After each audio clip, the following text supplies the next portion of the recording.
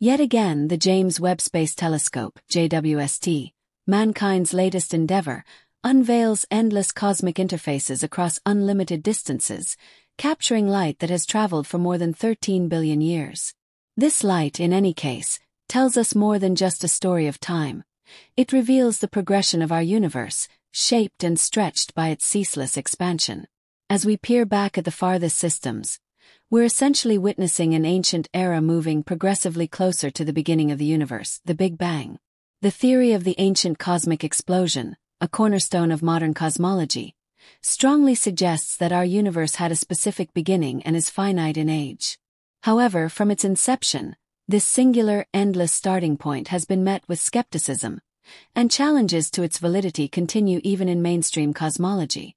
For decades, the theory of the universe's origin held strong, especially after the discovery of the cosmic microwave background, CMB, in the 1960s. This background radiation, a faint, pervasive hum across the universe, aligned perfectly with predictions of a hot, dense, early universe. However, recent observations by the JWST have raised new questions about the Big Bang's validity. Through the telescope's extraordinary clarity, NASA's colossal time machine, has revealed ancient systems far larger and more diverse than previously expected. This challenges our understanding of the universe's earliest stages. As the telescope peers back to when the first systems formed, it offers humanity a remarkable view, one that the Hubble telescope could not fully achieve.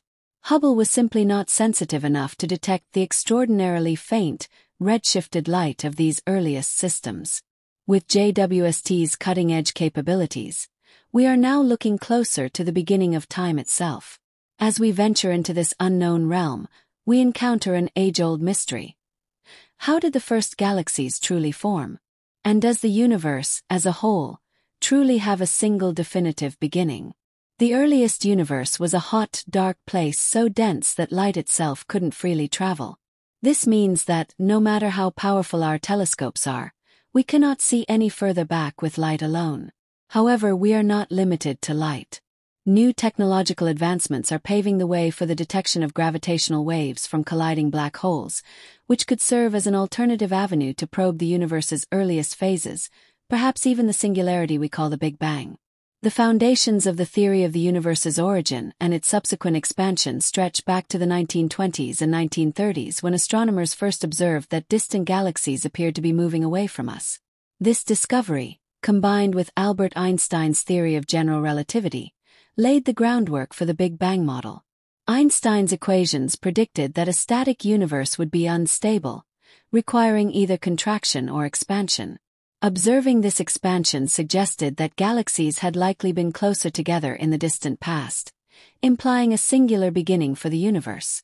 The universe's expansion has several important implications. Not only do objects move farther apart, but the light emitted from them also stretches, shifting to longer wavelengths over time. Since wavelength corresponds to energy, with shorter wavelengths being more energetic, this redshift indicates that the universe has been cooling as it ages. By rewinding this vast expansion, we arrive at a point where everything would have been so hot and dense that neutral particles couldn't exist, leading to a uniform, searing hot glow. This glow was confirmed in 1964 when astronomers Arno Penzias and Robert Wilson accidentally discovered the cosmic microwave background, a pervasive radiation field faintly echoing the universe's fiery start. Yet, as the JWST pushes the boundaries of cosmic observation, scientists are uncovering features in the early universe that challenge the traditional Big Bang narrative. We see massive, bright galaxies where there should be none, forming in ways that defy expectations. So, if the theory of the universe's origin alone does not explain these anomalies, what else might? At the core of the Big Bang hypothesis lies a singularity, a point of infinite density and temperature where the laws of physics break down. This is where existence, as we understand it, began. However, this idea has significant limitations. Imagine trying to describe the entirety of existence compressed into an infinitely dense point. This is where our understanding reaches a limit. While many aspects of the Big Bang model have been supported by observations and experiments, this initial singularity remains a mystery, prompting one to wonder. Could the universe have had a different kind of beginning? In its quest to understand the universe, science has found ways to recreate similar conditions. For example, quark gluon plasma has been synthesized in laboratories, and matter-antimatter pairs have been created to align with early universe predictions. Through these experiments and by analyzing the variations in the cosmic microwave background, we have developed a well-supported picture of the universe's evolution. Yet, significant mysteries remain. For instance, if all regions of space were once compressed into a single point, why do we observe such uniformity in the universe's temperature? According to conventional models, regions of space should show varied temperatures because they couldn't have exchanged energy or information. Additionally, we might expect to find relics from the hottest moments, such as magnetic monopoles or spatial anomalies, yet none have been observed. These discrepancies open the door to alternative possibilities. Either the universe inherently possessed these uniform properties from the start, or there was some mechanism that imposed these conditions. One possible explanation is cosmic inflation, a rapid expansion theorized to have occurred before the Big Bang itself. On December 7, 1979, physicist Alan Guth proposed this revolutionary idea. He theorized that before the hot Big Bang, the universe underwent an extreme expansion. This inflationary phase could explain why the universe appears flat, homogeneous, and isotropic. After inflation, the universe would transition into the hot, dense state associated with the Big Bang, paving the way for galaxies, stars, and planets to form. However, as researchers now acknowledge, even inflationary theory does not resolve every anomaly. For example, historical observations by the JWST have revealed astonishingly large galaxies from the universe's infancy that defy predictions of the standard model. These galaxies, far larger and more developed than expected for their age, challenge our understanding of how quickly structures formed in the early universe. Such discoveries suggest that our cosmological models may be incomplete or that some aspects of the universe's early evolution remain unknown. Another puzzling observation is the arrangement of galaxies and cosmic structures in ways that seem too orderly for the short time frame since the universe's birth. The JWST has captured images of complex, mature systems that should not exist so soon after the Big Bang, based on our current understanding of galaxy formation. These findings raise fundamental questions. Were the initial conditions of the universe different from what we assumed? Could there be alternative processes driving the rapid assembly of these cosmic structures? Moreover, the very nature of dark matter and dark energy, which constitute the majority of the universe's mass energy content, remains a profound mystery. Dark matter is thought to play a crucial role in the formation of galaxies by providing the gravitational scaffolding necessary for their assembly. However, the exact properties and behavior of dark matter are still elusive. Similarly, dark energy, responsible for the accelerated expansion of the universe, challenges our understanding of physics at the most fundamental level. These unresolved questions have led some scientists to propose alternative theories or modifications to existing models. For instance, some speculate that the universe may have undergone multiple cycles of expansion and contraction, a concept known as the cyclic or Big Bounce model. Others suggest that the universe we observe could be part of a larger multiverse, with different regions governed by distinct physical laws and constants. As the JWST continues to push the boundaries of observation, it provides an unprecedented opportunity to test these theories. By studying the faintest, most distant light and the earliest structures in the universe, scientists hope to uncover new evidence that could reshape our understanding of cosmic origins. The telescope's ability to detect infrared light, combined with its extraordinary sensitivity, allows it to peer further into the past than ever before, opening a new window into the cosmos. Ultimately, the quest to understand the universe's beginning is as much a philosophical endeavor as it is a scientific one. Each new discovery brings us closer to answering some of humanity's most profound questions. How did the universe come to be? What is our place in the cosmos? And does the story of creation have an end? Or is it part of an infinite cycle? As we continue to explore the universe with tools like the JWST, we are reminded of the vastness of what we do not yet know. The more we uncover about the cosmos, the more it seems to invite us to look deeper, to question further, and to marvel at the mystery of existence itself. The universe's beginning phases recommend an accelerated arrangement rate that expansion alone doesn't explain. The JWST's fantastic limits offer humanity an outstanding opportunity to investigate the universe. This $10 billion infrared telescope has captured stunning photos of the early universe, uncovering numerous immense, brilliant galaxies from when the universe was only a fraction of its current age. While astronomers previously believed they had a strong understanding of how matter coalesced to form the first stars and galaxies, the JWST revelations suggest a much quicker development than expected. These observations have stirred both excitement and skepticism among experts, as some researchers are forced to revisit fundamental assumptions about universe formation. According to astrophysicist Erica Nelson, massive galaxies seen within the first 500 million years of cosmic history defy existing models. The JWST's preliminary findings indicate that galaxies in this early epoch may be far more massive and diverse than previously thought, potentially housing masses comparable to today's massive galaxies, like the Milky Way.